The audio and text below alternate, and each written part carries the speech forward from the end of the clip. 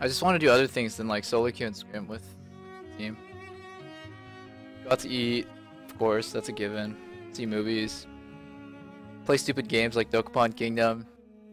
Get tilted from RNG. Chowster and Trick2G are mods? Yeah.